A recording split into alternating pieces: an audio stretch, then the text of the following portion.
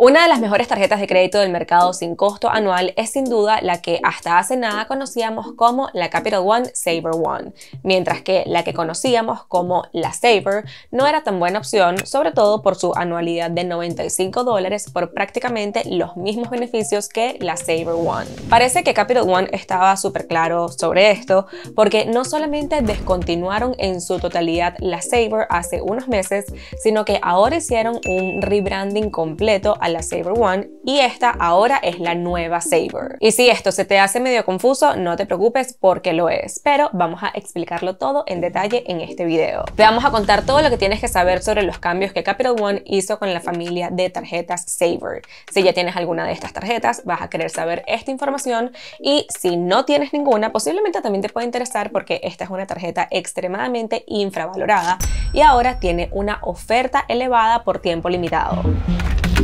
Thank you.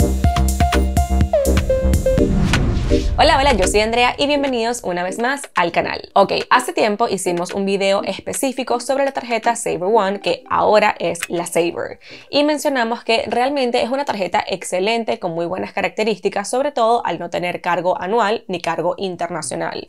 Y de hecho en ese video dije que es la tarjeta que consideraría como mi próxima de Capital One considerando que ya tengo la Venture X y esa es una de mis favoritas por mucho y esta sería en realidad el complemento perfecto Pues gracias a esta oferta elevada por tiempo limitado decidí dar el paso y justo anteayer solicité la tarjeta. Como siempre con algo de nervios porque aunque tengamos el crédito perfecto nunca hay garantías de aprobación.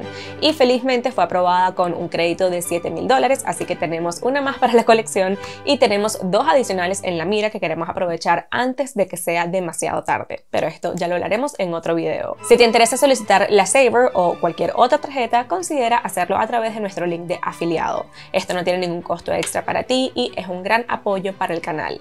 Este link muestra la mejor oferta del momento que es exactamente a la que yo apliqué y nuevamente es por tiempo limitado. El link a esta y todas las demás tarjetas lo puedes conseguir en la casilla de descripción. El bono regular de esta tarjeta es de 200 dólares al gastar 500 dólares en los primeros tres meses y ahora mismo el bono está en 250 dólares al gastar los mismos 500 durante los primeros tres meses, es decir, un bono de 50 dólares adicionales. Recuerda que si tienes una tarjeta que genere millas como la Venture o la Venture X, puedes convertir tu cashback a millas, pero no viceversa. Es decir, que este bono sería el equivalente a 25 mil millas que luego desde la Venture o la Venture X pueden ser transferidos a diferentes programas de fidelización de hoteles y aerolíneas donde potencialmente pueden valer mucho más de 250 dólares y eso es exactamente lo que vamos a hacer nosotros. Aunque incluso si no te interesan las millas para viajar, sino que eres Team Cashback 100%. De igual forma, esta es una excelente opción con ese bono elevado. Nuevamente, no tiene ningún costo anual. Dicho esto, vamos entonces a ver cuál fue el cambio que hizo Capital One y cómo es el tema con la familia de las tarjetas Saver ahora. Si se recuerdan, había dos tarjetas dentro de esta familia. Estaba la Saver y la Saver One.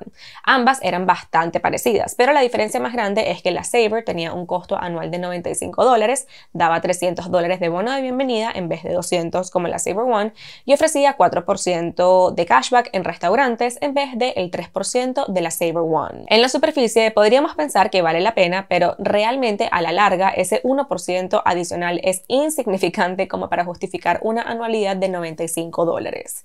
Para complicar un poco más las cosas, Capital One tiene diferentes variaciones de cada tarjeta dependiendo del perfil crediticio de cada cliente. Por ejemplo, la Saver One requiere excelente crédito, pero si tu crédito no está lo suficientemente bueno para Capital One, como para ofrecerte esa tarjeta específicamente, te pueden ofrecer una variación de menor categoría que es prácticamente la misma tarjeta, pero con menos beneficios, por lo general sin el bono de bienvenida. Usualmente le suelen sumar algo adicional al nombre de la tarjeta para poder diferenciarlas. Por ejemplo, esta se llama la nueva Saver Rewards. Esta es la tarjeta con el bono elevado de 250 dólares y todos los beneficios adicionales. Pero si por casualidad no calificas para esa tarjeta, entonces te pueden ofrecer la que ellos llaman Saver for Good Credit, que es básicamente la misma, solamente que no te van a dar el bono de bienvenida ni tampoco los meses sin intereses. Pero bueno, volviendo al tema. Hace unos meses, de la nada, Capital One dejó de aceptar nuevas solicitudes a la Saver y se quedaron únicamente con la Saver One, que es la mejor. Oficialmente y sin previo aviso, la Saver fue descontinuada. Bueno, todo bien, en realidad no hay motivos para extrañar la Saber, ya que de por sí, como hemos dicho, la Saber One es la opción obvia superior. Y hace poco, literalmente hace unos días, la Saber One tuvo un rebranding completo y ya no es la Saber One, sino la Saber. Y el diseño de la tarjeta también cambió completamente. Entonces, si antes hablábamos que la Saber no era tan buena como la Saber One, hoy, para evitar confusiones, tenemos que decir que la Saber como la conocíamos antes ya no existe y que la Saber One pasó a ser la Saber por lo que ahora la única y la mejor opción es la Saber. Gracias Capital One por hacerlo tan fácil para todos. Y para rebobinar y tener claro qué ofrece esta tarjeta y por qué decidí dar el paso y finalmente solicitarla, vamos a ver los detalles. Primero, esta tarjeta no tiene ningún costo anual, no nos va a costar absolutamente nada tenerla, así que de usarla bien, de usarla correctamente, todo lo generado con ella va a ser ganancia. Segundo, tiene una de las mejores estructuras de recompensas en tarjetas de crédito sin costo anual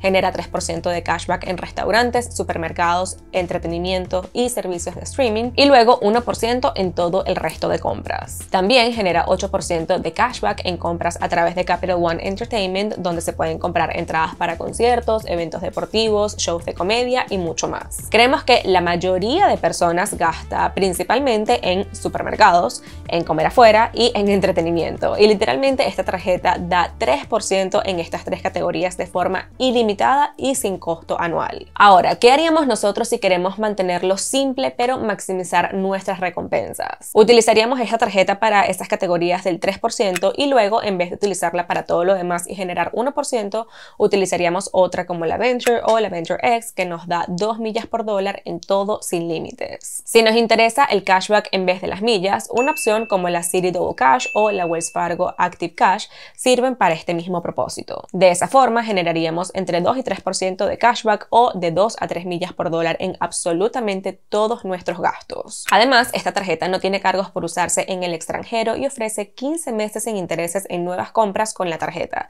Y como dijimos, ofrece la posibilidad de convertir el cashback en millas. Si llego a generar 600 dólares en cashback entre el bono de bienvenida y las compras de por sí que haga con la tarjeta, significa que puedo convertir esos 600 dólares a 60 mil millas a mi Venture X y esas 60 mil podría canjearlas por un vuelo en clase business desde Lisboa a Nueva York en vez de pagar 1.900 euros o 2.000 dólares, que esto no está nada mal. O quizás podríamos irnos Carlos y yo a un resort todo incluido por cuatro noches por exactamente esos 60.000 puntos o 60.000 millas en vez de pagar 1.100 dólares. Honestamente, las posibilidades con los puntos y las millas son ilimitadas. De hecho, en este momento estamos en un hotel en Praga reservado obviamente con puntos de tarjetas de crédito.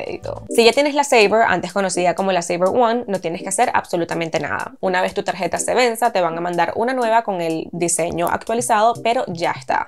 Si tenías la antigua Saber, que ahora está descontinuada, puedes mantener la tarjeta con los términos originales. Simplemente ya no está disponible para nuevos solicitantes. Sin duda lo más interesante es para quienes estaban interesados en la antigua Saber One, actualmente Saber, ya que esta oferta elevada es en definitiva un incentivo para finalmente dar el paso y obtenerla. Recuerda que te dejamos nuestro link de afiliado en la casilla de descripción y si tienes cualquier duda déjala en los comentarios. Si te gustó este video no te olvides de dejarnos tu like y suscríbete al canal si aún no lo has hecho. Bye.